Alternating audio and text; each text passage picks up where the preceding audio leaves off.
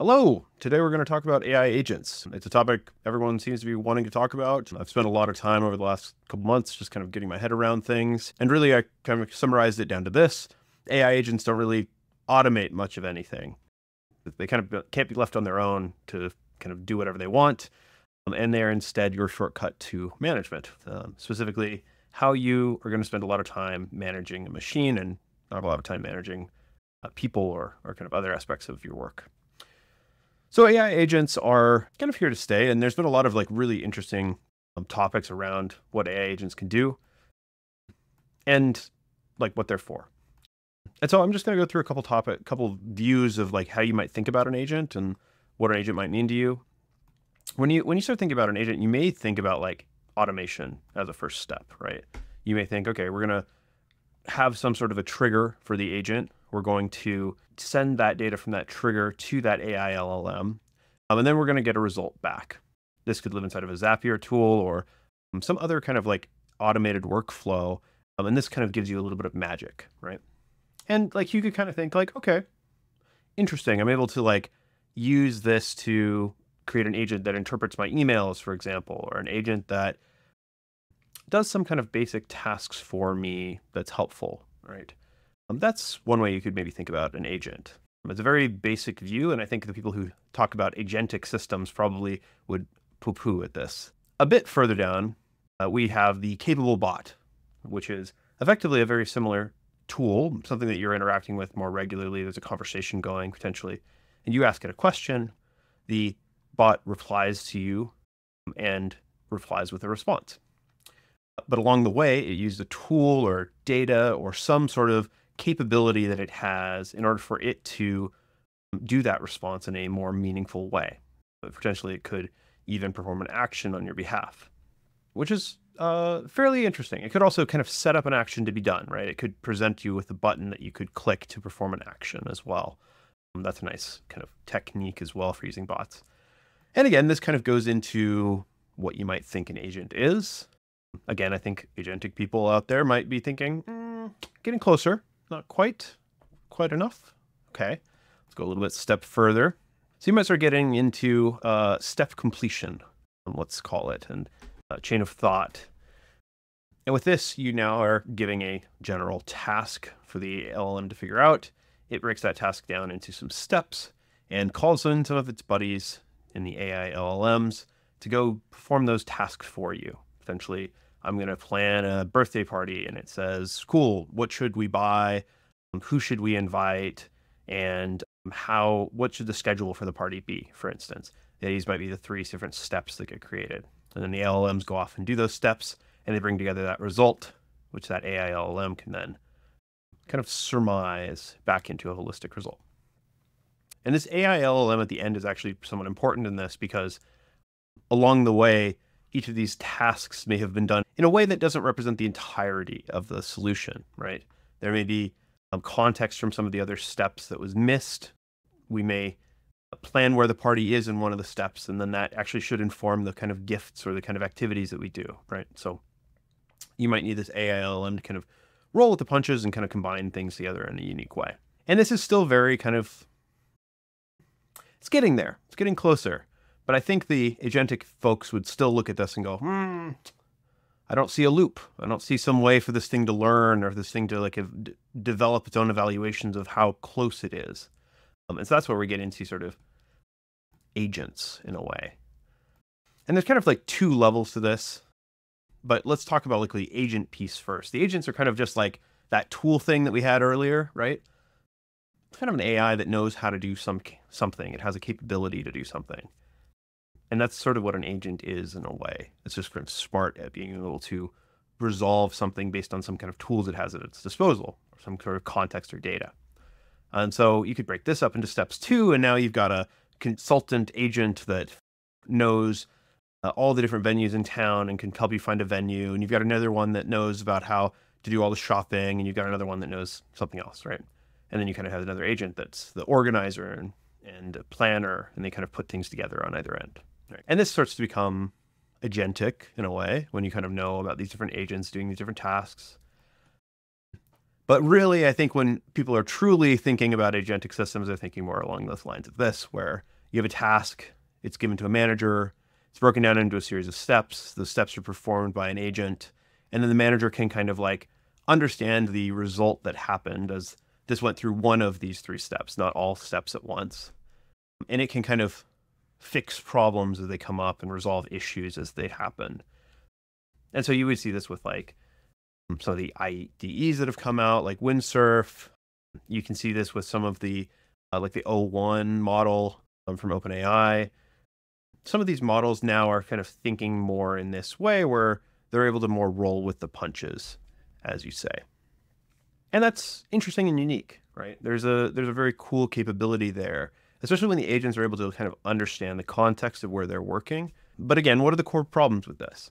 When I think about building systems with LLMs, the biggest thing I think about is accuracy. And so I often use a very highly accurate model um, to solve problems with because I'm trying to solve somewhat general problems, not things that a specific model has been trained on. And I'm usually not interested in training a model because I'm thinking about it from a product perspective. So I often look at accuracy as a kind of nice measure. These are from these measures are of course from the scale mathematics evaluation, but I just use it as a general example. There's a ton of leaderboards, and I'm not specifically privy to this one, um, but I found it kind of interesting as a as a measure here. So you know these these models are somewhat accurate. Let's say around 95% accurate. And as we start to take that accuracy we run that accuracy through a series of steps, right? We take our complex question that we have, right?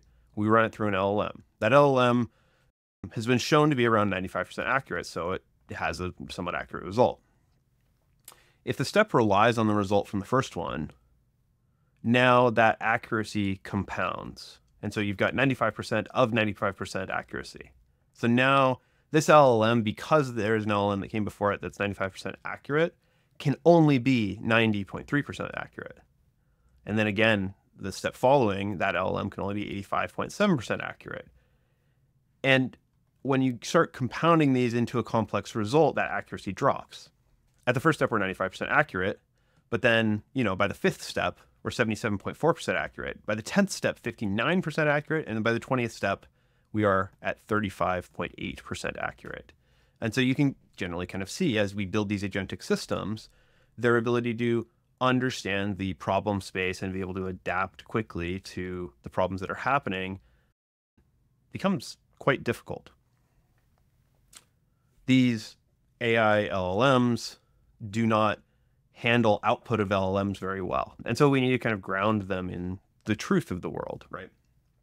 And so this is generally why you'll see like when we have AIs coding for us, they'll look at the real output of the program in order to ground themselves in the reality, not just what the LAI that ran before them said. They'll actually look at the real results of the example. And that helps this accuracy quite a bit, right? Because we can kind of ground it in the reality. The problem is what we end up grounding it on are the errors that we're seeing, the like maybe the the UI visuals that we see, and maybe maybe maybe some of the functionality. But what we absolutely do not ground it on, that is unfortunate, is our mission or objective. That is hard to reground the AI on because we were only telling it something at the beginning, right? We had this complex question that we gave the AI LLM. And at each of these steps, it's not able to reassess against that mission objective and say, hey, am I closer or further from that objective? unless it's a measurable objective, right? Unless it's something that we can create a test against or run something against, there's no way to tell how much closer we are. And so the AI is off on this cascade of increasingly inaccurate results. And we saw this. I ran through this with some code I ran using Windsurf. And I saw this exact thing happen where I just kind of let it run wild with the solution and it kind of just crashed on itself a bunch. I kept kind of poking it or prodding it or trying to get it to go toward the solution that I thought made sense, but it really wasn't able to understand fully even the context that I gave it, which was very broad of just kind of getting an app set up with Tailwind inside of a monorepo. That nuance of the monorepo just didn't quite come through. And even though I was having the same conversation and kind of giving it more prompting further down, it kind of lost the thread. It lost the mission, the objective, right, that I initially gave it, the thing that I wanted it to hold on to. And this is such a complex thing as well. Um, so it's difficult to hold on to, which kind of leads me to this like general belief that agents are just generally less accurate than regular models. When we let these agents solve problems for us or autocomplete our text or try to kind of automate certain processes that we want them to do without our intervention in looking at the outcome and checking them or having them ask us questions along the way if we try to give the whole problem to them they're just generally less accurate. But this also tells me that agents are actually good at a few things right? They're really great at creative solutions where accuracy isn't critical. You could argue that creating an ai generated podcast is not something where accuracy is terribly critical. NotebookLM's ability to tell you about something is not necessarily about telling it to you very accurately. It's about telling it to you in a fun way. You could use NotebookLM to produce propaganda fairly easily to make you feel good or excited about a solution that in reality has not a lot of bearing on anything. The accuracy of what it represents doesn't come in, doesn't factor in. They're also good at, of course, taking, you know, a few short steps, right? That actually doesn't drop off that quickly. So if these agents are able to just perform a, a series of steps that are very short, that can be beneficial as well. Again, actually probably shouldn't be critical, but you know, we can get a little bit better if we just keep the steps short. And then additionally, problems that don't rely on like prior thinking, right? If you need to target, you know, several different tasks and you're able to a- task an agent with each of those tasks, your accuracy doesn't drop that much because each task is separate. They don't rely on each other again, it just kind of feels like at that point, why are you setting all the agents up together? Uh, why not just have different tasks or automations run? And that's kind of the question that I always come back to is, you know, whenever I'm trying to set up some system and I'm like, okay, maybe agents could work here, I just start thinking like, it's hard enough to build a solution with around an LLM's output as it is, just as a chain of automation but to like let it have the free reign to be able to problem solve within that space without a human to guide it, that starts to get tricky. And that leads me to my final point, really, which is, you know, the thing that it's the best at is human in the loop tasks. And that's where we keep seeing agents be actually deployed really generally is tasks where you have a human to help it along, right? And where it and the human are working side by side to solve problems. Peter Thiel talks about this a lot in Zero to One, where the idea of how computers and humans best work together are when they are enabling each other. And so I do think that agents work very well in that space. This is why like Windsurf and Cursor and other like AI agentic tools work really well for programmers because the programmers are specialists, right? That are knowledgeable within the space. And those tools can enhance their specialty, right? They do not replace that specialty, you know? they can't task that agent to do something on their behalf, they need to be stay within the loop, checking it along the way, validating that what it's doing makes sense. And sometimes that gets boring, is what I've found. Sometimes you end up managing the machine doing the task rather than just doing it yourself. And so that's where you do need to find that judgment of, okay, I've got this agentic system. It's really interesting and it's really cool and very powerful. But how do I factor into this now? In general, I think OpenAI and a lot of the enthusiasts around AI tools have really kind of jumped the gun on agents. I don't think we were really ready yet.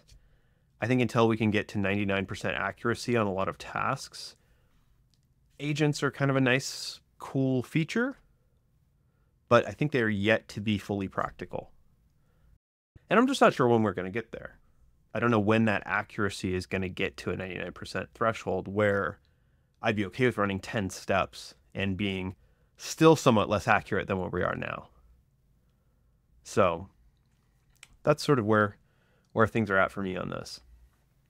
And, you know, since today is uh, just heading out into the holidays, I thought I'd leave you with a little bit of a demo of something that I've been working on for a little while here. This is a Little Monster Creator. Um, I made it around Halloween with some friends. Um, we just kind of put it together uh, as a great way of creating like D and D monsters. When the new monsters manual comes out, we're gonna definitely revamp this a bit. Uh, but what you can do is you can create a prompt for creating a monster. So I'm going to create a scary version of Santa. Great. So I've got Santa riding a skeletal horse, haunting Christmas, flying on a shadow sleigh. Something interesting here. So we're going to kind of summon that monster here. Um, and so this will go off and it actually goes through a series of tasks. I do have some things in here to like have it refer to and double check the monster that it creates to better fit the rule set. And so I kind of do that as a separate piece to where it does creativity and where it has fun with the monster. This is actually somewhat similar to how the NotebookLM team does their things and it's kind of where I got inspiration for it. But as you'll kind of see, all of the abilities and things kind of go through a final pass that adds a little bit of fun and a little bit of creativity to the final output. Rather than this just being a kind of more generic creator, you've got this monster creator agent again uh, that goes off and creates a monster, creates an image that represents that monster as well, uh, and then brings that all back here for us to see. We can now see it kind of going through and creating all the different steps there. Haven't run it for a little while, so I think the server was pretty cold coming into it. But you can see it's kind of generated the stats, critiqued the stats, added a little bit of creativeness, and now it's going to go through building out a nice image for us to, to look at. And there we go. This is our uh, Santa of the Shadow Sleigh. so you can see Santa riding his phantom horse there. He's a medium undead. Uh, it comes up with a good number of um, kind of spells and abilities that he might know. And then he's got Yuletide Terror, Twilight Assault, Shadow Staff. Really interesting capabilities here. He's even got some legendary actions here. And so, yeah, there's our our monster that was completely created by an agent. Well, thanks so much for tuning in. Um, happy holidays. I hope everyone is having a warm and safe holiday season. Hope you're also getting a chance to play with some AI. If you're also interested in finding out more about AI or learning about what we're up to, uh, we have our blog over on Stable Discussion, where, for instance, we went into sort of our overall review of Windsurf and link to the video there as well. Would love it if you subscribe, like the video, and also we've of course got this subscription here as well at blog.stablediscussion.com, where you can also find us. Thanks so much, and we'll catch you in the next one in the new year.